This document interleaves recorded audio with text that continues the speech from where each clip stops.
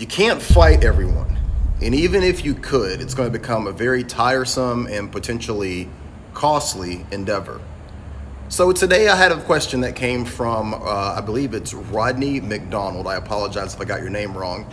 Uh, but basically, he's asking how do you deal with moving homeless or drug addicts or prostitutes off of specific areas of property?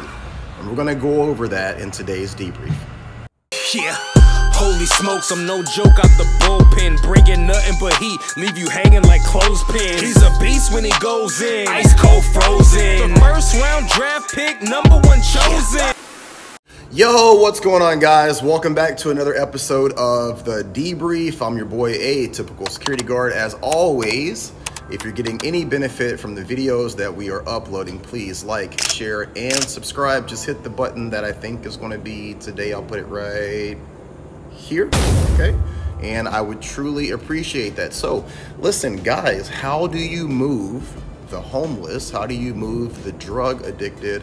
Or even potentially prostitutes and unsavory characters, or savory depending on how you roll, off of property. And guys, listen, there's a lot of topics that I come on here and I talk about that, you know, I'm trying to figure out uh, as well. But this is one avenue that I am very, very, very qualified to talk about because this is literally what I do on a daily basis.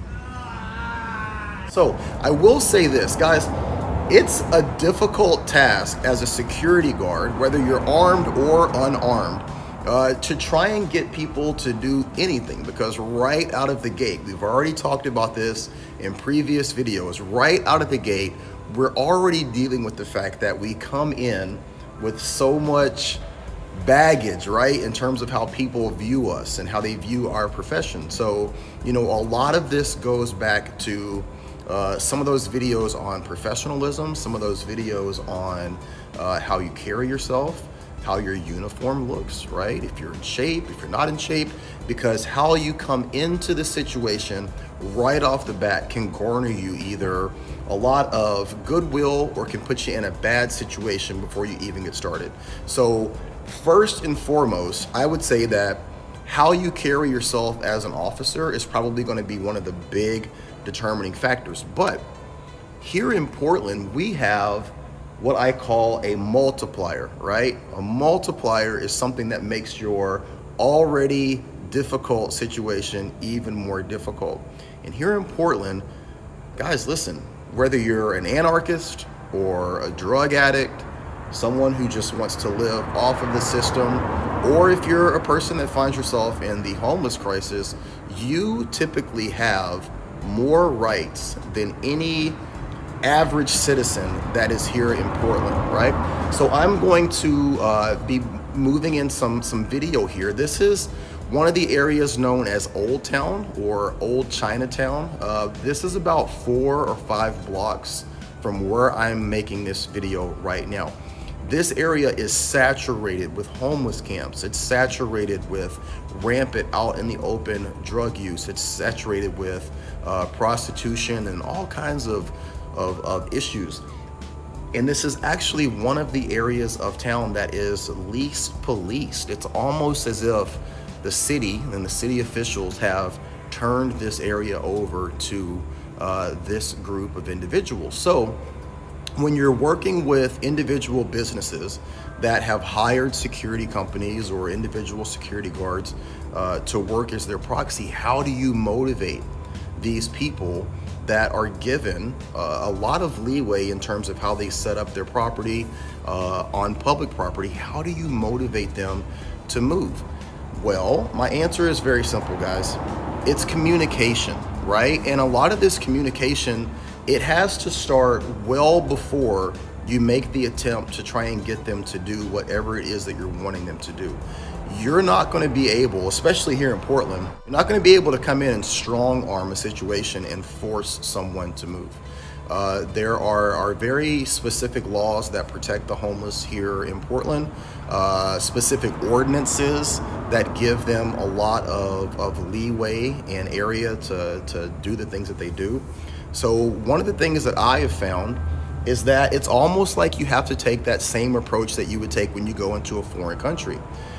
When US forces go into Afghanistan or US forces go into Iraq, they have to create something called goodwill. And we have to do that here working with the homeless as well. And I, I, suggest that you guys do that as well. I carry on my person at all times a pack of cigarettes, and I don't even smoke. But part of having those cigarettes is so that I can offer them to homeless people or people that are that are living on the streets just out of sheer conversation strike up a conversation introduce myself and a lot of times i'm doing this in uniform i'm giving them a cigarette asking them about their day i'm just trying to create that goodwill so that down the road and this could be down the road later that day this could be down the road you know a couple of weeks or a couple of months and i run into that person i've already established somewhat of a relationship with this person and ultimately getting people to comply with you, whether it's a homeless person on the street or a drug addict that you find in the bathroom, or even your girlfriend or wife, it all comes down to communication and relationships. If you can create these relationships, if you can create these inroads, just on even a surface level, it goes so much further in trying to get them to comply with you down the road. There's a security company here in town called Echelon. Uh, I've been doing some work for them. These guys are amazing. And one of the things that I've learned from them is furthering this attitude of creating a relationship before you try and get any sort of compliance. You know, these guys are actually switching out uh, the tents for some of the people. They'll go up to a person that's on property that they're working for and they'll say, hey, look, you know, guys, listen, we can tell that you need a new tent. This tent seems to be you know, diminishing. This can't be good for you. There's mold. Uh, you know, maybe there's there's vermin that are in it. How about we help supply you with a new tent? But you got to move off property in order to get that, right? And this is a very, you know, allied forces way of of ingratiating yourself to the local, right? In order to get them to comply with you uh, down the road. So, to answer your question, and I know that I get extremely long winded, I'm sorry try not to look at your position as an enforcement officer because at the end of the day what really can you do you're not going to be able you know more than likely in your capacity you're not going to be able to make an arrest you don't want to go hands on with this individual so you know, if things truly don't go the way that you want, you observe, you report, whether that's you're reporting it to your immediate supervisor or to the uh, location that you're working for, or if you have to call the police. But here in Portland, the police aren't going to show up nine times out of 10, right?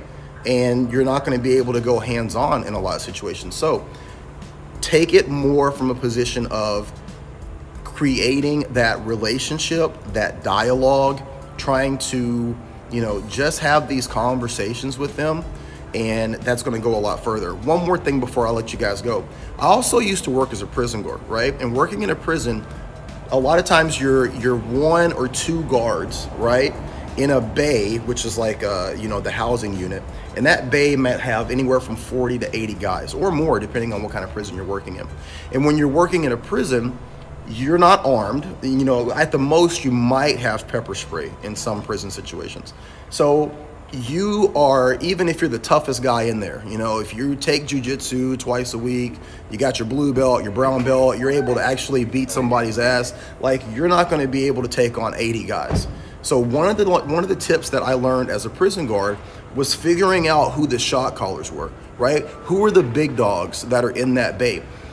Now, you don't want to do something that puts you in a situation where, you know, you're breaking any sort of rules or you're violating any sort of policy, but understanding who the guys are that create the calls, make the calls, who call the shots in those prison bays, and, and having a relationship with them, again, a legal and proper relationship, but understanding the respect and weight that they carry being able to have a relationship with that person and being able to talk to them in order to have them help get other people to uh, comply, right? And it's no different here on the street. There's certain people, whether you're working at a retail establishment or you're working uh, in a patrol area or you're working in a certain location, there are certain people that still within the hierarchy of, of that environment, they're calling the shots. And if you recognize who that person is, you're talking to that person, you're showing them respect, you're talking to them with respect. A lot of times, if you're having problems with other knuckleheads, you can approach that person, give them a cigarette, and be like, hey, look, man, look, I'm having a problem with so and so. Can you do me a favor and talk to him? Can you get him off the block? Or this person has been in the bathroom for 15 minutes, you know, can you say something to him? And a lot of times, having someone else that's in their environment, their world, um, that can go a lot, a long way in carrying weight to get people to comply.